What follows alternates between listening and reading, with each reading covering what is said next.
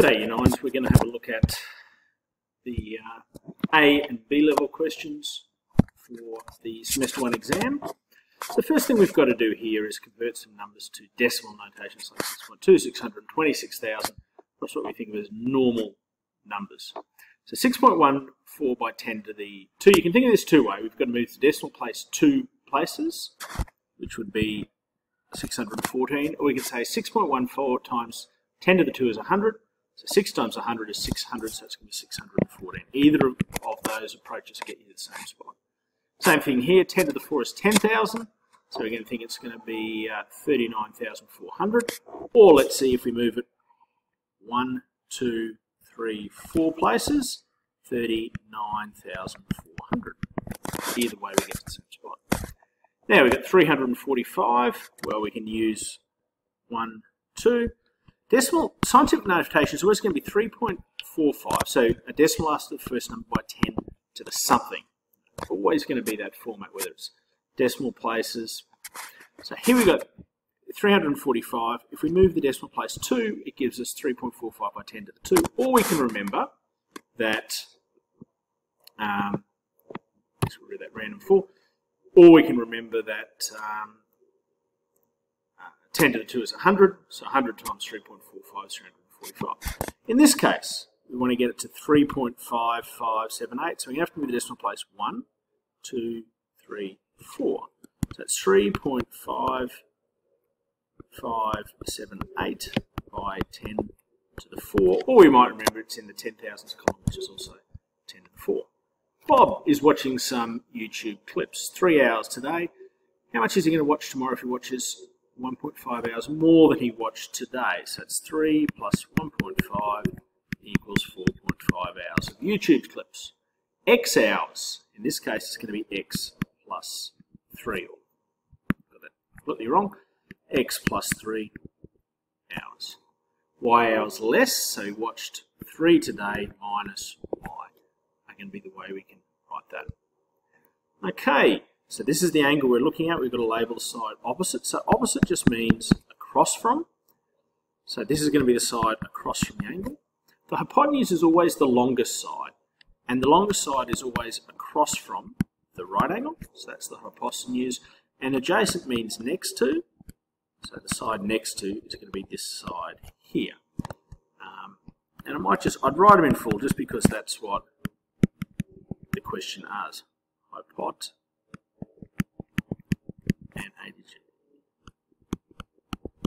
Okay, for this next one, we're just going to be doing some simple calculations.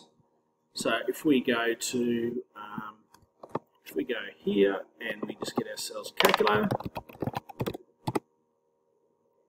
the first one we've got to look at asks us to calculate sine of 52. So we just make sure our calculator is in degrees mode. We go sine 52, that equals 0.7 0.88 or 0.79. So the first one's just going to equal 0.79. Now I've written in the answers here, but let's just check them. Cos of 31. So for this next one, so clear, cosine cos 31 degrees equals 0.857, so 0.86. Let's just check that that's what we had here. 0.86 is right. And the tangent of, I've forgotten what it was, tangent 55. So here we go clear again. So we go uh, tan, 55 equals 1.43. When We round it to two decimal places and 1.43 is the answer there. Okay, we've got to solve these. Let's see what we can do. Let's get rid of the brackets. So we're going to multiply 4 by x and 4 by 5. So we get 4x plus 20 equals 32. I want to subtract 20 from both sides, so subtract 20 from both. Remember the rule when you look at these things is if we do something to one side, we do it to the other. It might be to subtract, it might be to multiply, it might be to divide. In this case, it's subtract. So 4x plus 20 minus 20 is just going to equal 4x. 32 minus 20 is 12. And now we're going to divide both sides by 4 to find out what x equals. So we've got that x equals 12 divided by 4 equals 3. Next one. 3x minus 3 equals 9. So 3 times x and 3 times minus 3, so it's going to 3x minus 9. Just be careful, like 3 times 3 is 3 times 3 is 9, but there is a positive and a negative, so it's negative overall equals 9. So let's get all the numbers on one side, so let's add 9 to both, to both sides. So 3x minus 9 plus 9 is just 3x equals 9 plus 9, which equals 18. And now we're going to divide both by, by 3. So 3x divided by 3 is just going to leave us x. 18 divided by 3 is going to give us 6. Okay. For some reason we lost our 6 here. Let's get rid of it here if we can. Okay. y equals, we've got to draw a graph of y equals minus 3x plus 4. Now to do this, I like to work out, there are different ways of doing this. There's a number of ways of doing this. I like to work out some points. I like to work out the point x equals negative 1, 0, 1, and 2. So here's our rule. y equals minus 3x plus 4. So now we want to substitute it. So we want to say, okay, I want to take my minus 1 and pop it into that equation there. So 3 times, negative 3 times negative 1 is actually a positive. So it's 3 plus 4. So y equals 7 when x equals negative 1. So now we're going to take this next number 0 and pop it in where we see the x. So 3 minus 3 times 0 is 0, plus 4 is 4. So 1 in where we see the x, minus 3 times 1 is minus 3, plus 4 is 1. And 2, minus 3 times 2 is minus 6, plus 4 is minus 2. So let's just put our axes in. Ask us to ask us to draw the axes, label the points clearly. So it's not a great, it's not easy to all that easy to write on this, so I apologise. So, so the first point is negative 1, and the y is 7. 1, 2, 3, 4, 5, 6, 7. 7. So that's our first point up here, negative 1, 7. Next point is x equals 0, y equals 4. 1, 2, 3, 4. That's that point here. Always do the x value first. Next is x equals 1. x equals 1 here and y equals 1. So it's going to be this point here. And the last point is x equals 2. x equals 2, 2, and y equals negative 2. So it's going to be down here. So that's our, that's our line through here. Line y equals minus 3x plus 4. We can label that y. y minus 3x plus 4. And it's what we'd expect. We expect a negative slope and it goes through, the y-intercept is at plus 4, which is where it goes through that y-axis. Okay, convert the following to decimal notation, 6, 6.14 by 10 to the minus 2. So I'm going to start by saying, okay, it's going to move two places, 1, 2, 0 0.0614, 0 0.0 614. The other thing you remember is 6 is in the hundredths column, that's where we've got it here. Okay, the next one, we're going to move four places, so let's put some zeros in front here. Move it. 1, 2, 3, 4. So 0 0.000394. 0 0.000394 is that, is that one there. Opposite, opposite way we've got to do, always going to start 2.4 by 10 to the something. We've just got to work out what the something is. In the negative direction, it's going to move 1, 2. Move negative 2 into the negative 2. Same thing here, it's going to be 6.78 by 10 to the, we've got 1, 2, 3, 4, 5, 6, 10 to the negative 6. Okay, a couple more we've got to expand and simplify. So x times x. If we remember this, we can do the first ones, then we can do the outside, then the inside, then the last of each pair.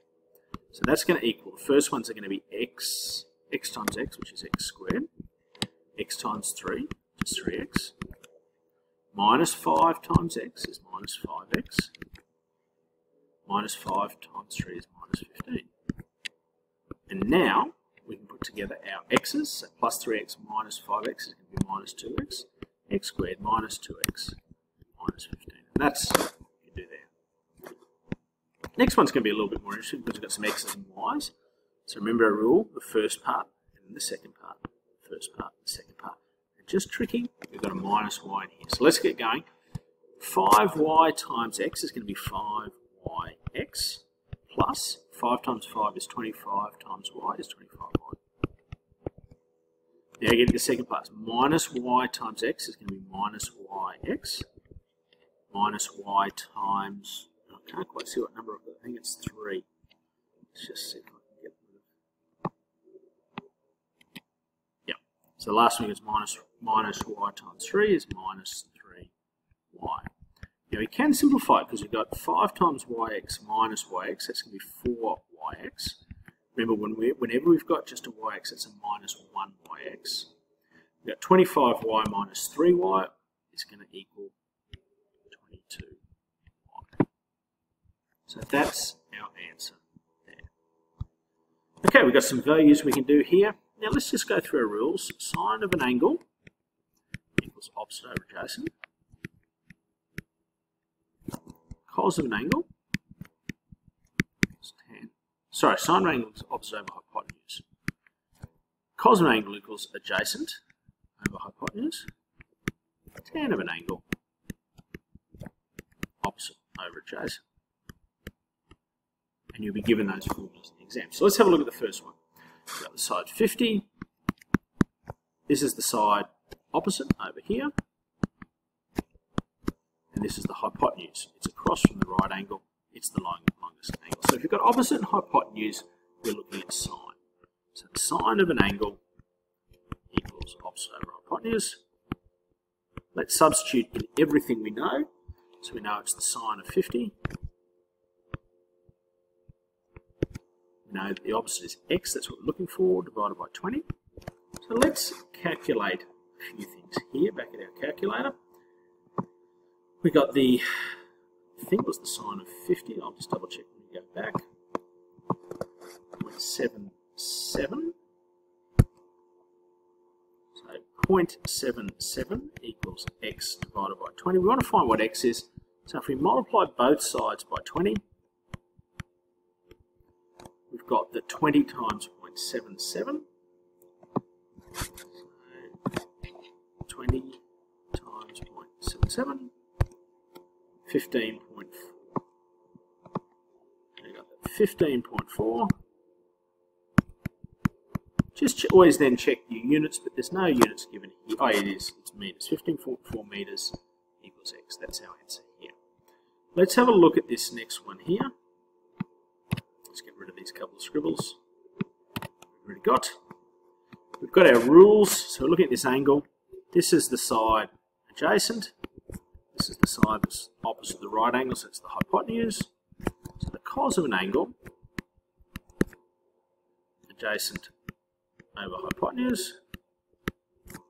We've got the cos, and we don't know the angle, it's x. So The cos of x equals 10 divided by 20 equals 10 divided by 20 is 0.5. So now we've got to go to a calculator, and this time, instead of finding the cos, we're finding the inverse cos. Cos to the negative 1. Inverse cos 0.5 and that gives us 60 x equals 60 degrees so check that I have that in yeah I have that in degrees